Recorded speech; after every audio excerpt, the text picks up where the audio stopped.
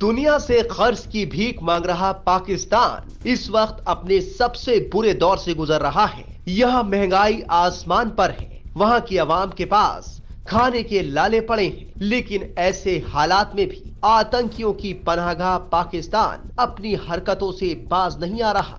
वो भले ही खुद को बड़ा शातिर समझता हो, लेकिन उसकी सारी नापाक हरकतें दुनिया से नहीं छुप पाती। या तो वो खुद एक्सपोज हो जाता है, या फिर उसे एक्सपोज कर दिया जाता है। दरअसल इन दिनों पाकिस्तान सोशल मीडिया पर कश्मीर मुद्दे को लेकर फेक नैरेटिव फैलाने का प्लान बना चुका है और उसने 5 फरवरी को कश्मीर सॉलिडेरिटी डे मनाने की तैयारी की है। पाकिस्तान सोशल मीडिया में कश्मीर मुद्दे को लेकर इसलिए भी सक्रियता दिखा रहा है ताकि पाकिस्तान के आर्थिक हालात और लाखों लोगों पर आए संकट से दुनिया का ध्यान हटाया जा सके। अपने ही देश की आवाम को गुमराह करने के लिए पाकिस्तान नए नए पैतरे चल रहा है। वो अपने ही देश की जनता को मूर्ख बनाने की कोशिश कर रहा है। जानकारों की माने तो पाकिस्तान का एक और टूल किट बेनकाब हो गया है। पाकिस्तान ने 5 फरवरी को तथाकथित कश्मीर एकजुटता दिवस मनाने के लिए सोशल मीडिया पर फर्जी कहानी और प्रचार फैलाने के लिए एक विस्तृत टूल किट तैयार किया। उसने वैश्विक स्तर पर सभी पाकिस्तानी मिशनों को प्रचार सामग्री भेजी है।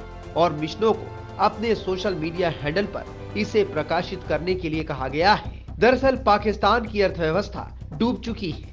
वहाँ की मौजूदा शहबाज सरकार और सेना के लिए देश को इस संकट से उबारना मुश्किल हो रहा है और इसीलिए वो कश्मीर का राग अलाप कर पाकिस्तानी जनता को मूर्ख बनाने की कोशिश कर रहा है। बता दें कि पाकिस्तान लगातार भारत विरोधी साजिशों पर बहुत धन खर्च करता रहा है। सरकार में बैठे लोग ये समझते हैं कि भारत के विरोध करने मात्र से वो सत्ता में बने रह सकते हैं। पाकिस्तान सरकार आर्थिक तंगी और संकट से जूझ रही है और वो इस गिरती हुई अर्थव्यवस्था को रोक पाने में नाकाम रही है। और इसीलिए पाकिस्तान फिर से रटा रटाया कश्मीर का राग अलाप रहा है।